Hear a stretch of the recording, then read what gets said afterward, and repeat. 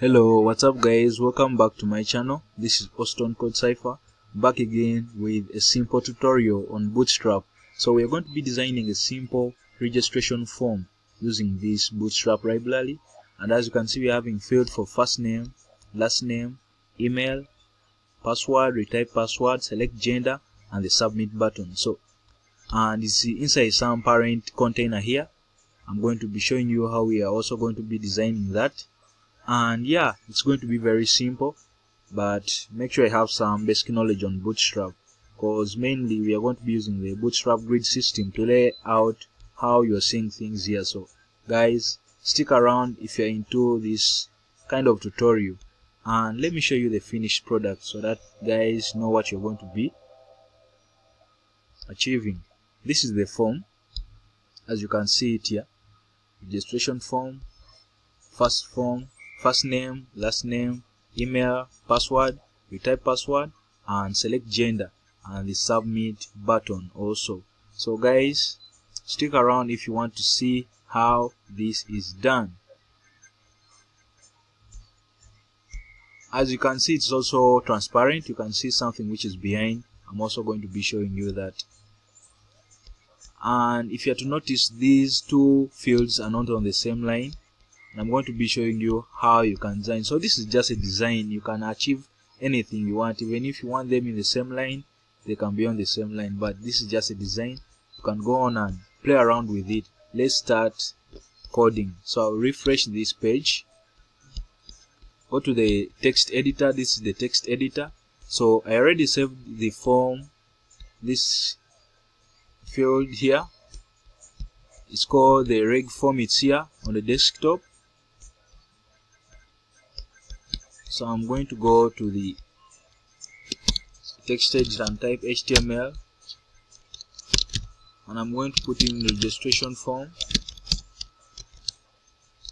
And if you are to save this this is what you're going to be seeing. So let us carry these bootstrap CDNs from W3 schools. So this is W3 schools we are going to carry these CDNs in our project. So go to w3schools.com forward slash bootstrap forward slash bootstrap get started dot sap so active server page. So make sure you copy these. I'm going to be working online. So paste them in your head section. You can get rid of these comments also get rid of these.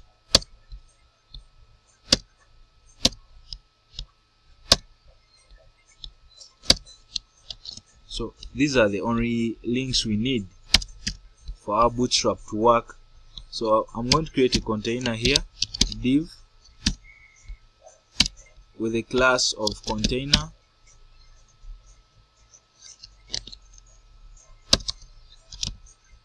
Class of container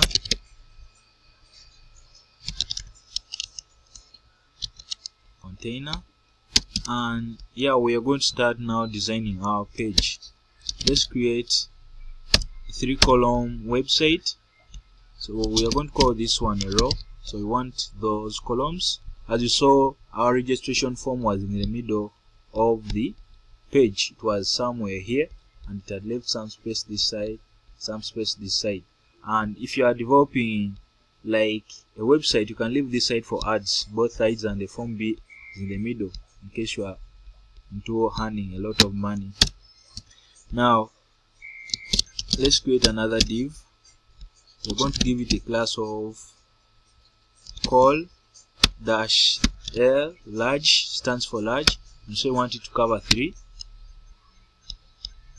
Let me not waste a lot of space because these ones are just going to be invisible.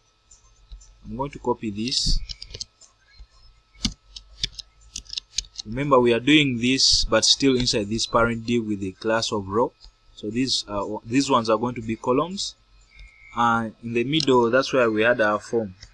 So it's going to be 6 so if you add this one 3 plus 3 that's 6 plus this 6 12 so we are completing the bootstrap grid system. So these ones are invisible as I said. Let us just leave them there and this is where our form is going to be. So I'm going to create a div. I'm going to give it an ID of UI so user interface. That's what I need. Now I'm going to create also another div. Let's create a form. Sorry. I'm going to create the form tag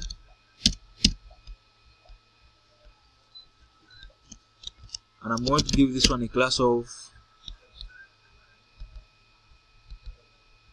let me slide up. I'm going to give this one a class of form group. And yeah now let's start on the grid system. As you saw first name and last name these are four different columns. This one is the first column this one is the second column. So we are going to create also another grid system inside this form. So I'm going to start by creating a div with the class of row. And I'm going to add now the label the div of the column. Sorry not the label. And I'm going to say class. I'm going to say dash L. I'm going to say 6 LG so this is the first column. I'm going to make this label and I say first name.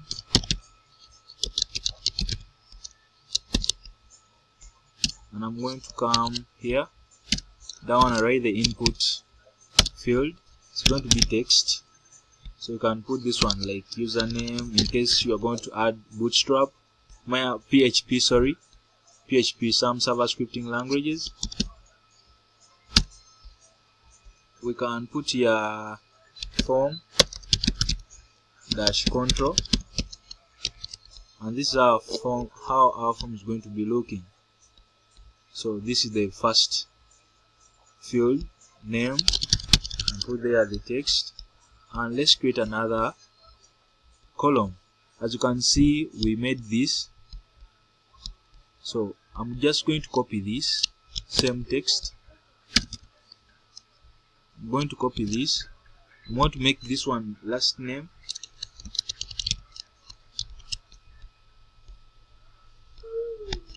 let's call this one f name and this one l name.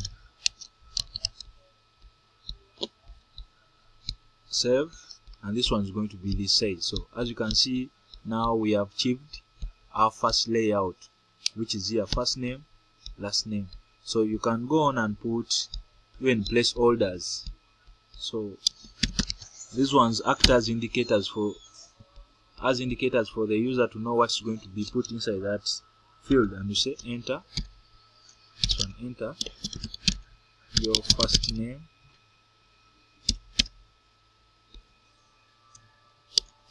First name. And for this one the placeholder will be enter. Your last name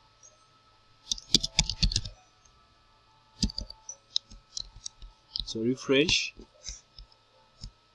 And you see we are having the placeholders inside there. So now let's create this one. So as you can see for the email it's stretching out the whole column. So for it we just go after this. So after this parent div with the class of row just go below and put label and say email and you put the input field of email. So you can give the name email so you're going to, you target this using any server scripting languages. Class will set form dash control. Refresh. As you can see it's also stretching but we are also going to be centering them as you're seeing here. Let's continue. We also give it some placeholder of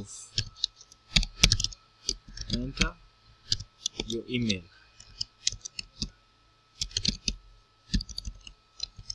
It's also going to be there. So enter your email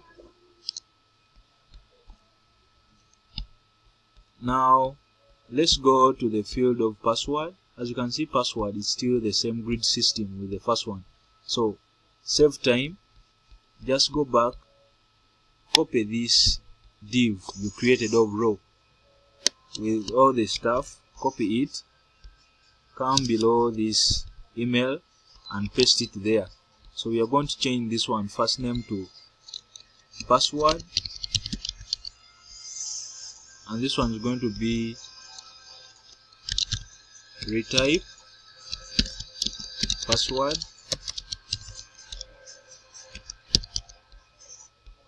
retype password and make sure you change the type to password also because it is not supposed to be in text form. So refresh. And still now you get these asterisk symbols let's also change the placeholders. This one is going to be retype again. Here we say retype type password enter password.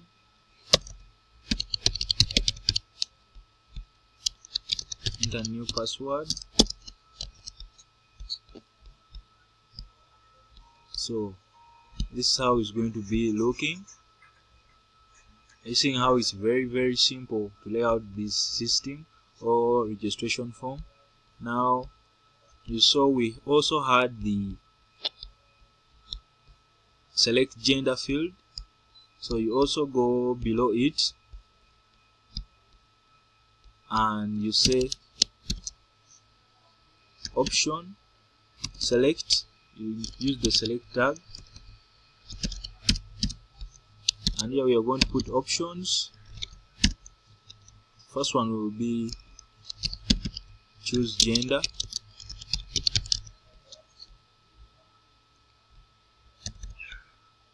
And the next one will be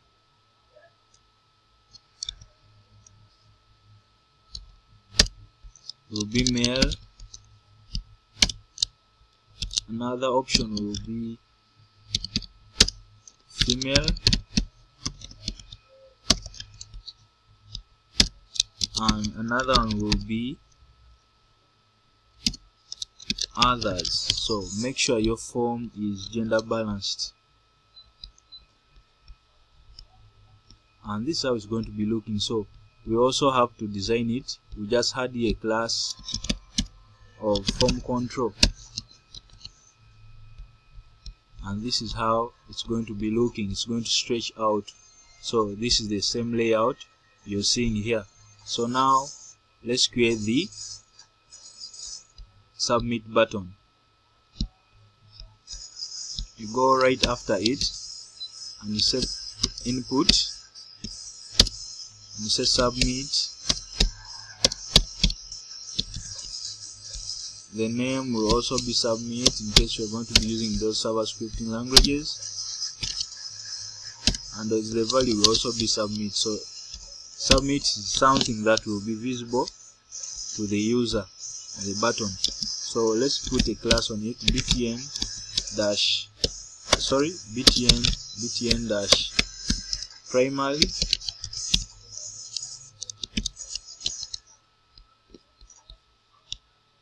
are you seeing how it is? Now let's make it straight or block. You say btn dash block.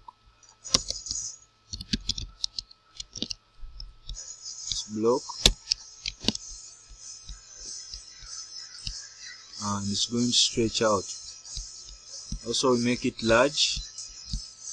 Btn dash lg large and this is it. Now we are going to start designing the UI so it's inside this parent div of UI that's what we are going to be editing this one